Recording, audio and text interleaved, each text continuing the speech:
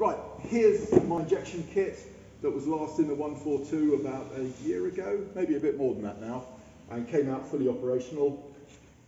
There is Dave Walker's book on engine management. Dave Walker is the guy that designed Emerald ECU and the injection around it. There's the Emerald manual. Um, that's a little sheet that I make for helping me to tune. Okay, what about the hardware? Okay, center to it all is the Emerald ECU, which is the RS232 version.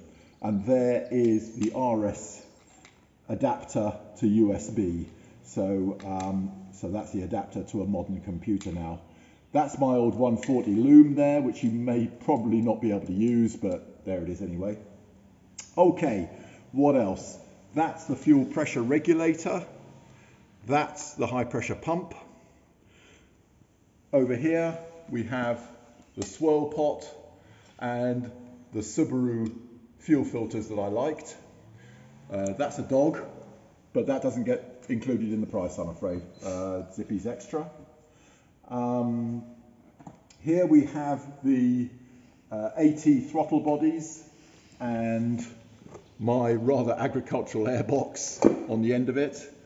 Uh, there's the throttle pot on one end and the linkage there, uh, or, or, the center linkage. The rest of the linkage is not included. That stayed on the car.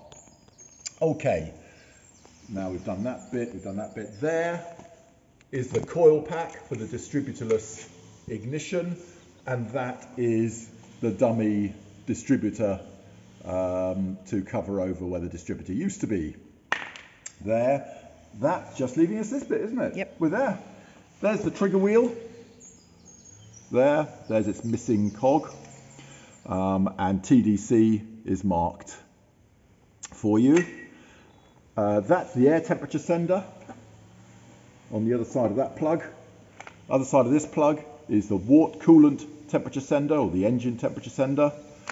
And there is the um, TDC detector there, sensor.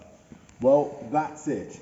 Um, let me work out a price for the whole lot and that'll be attached to an email.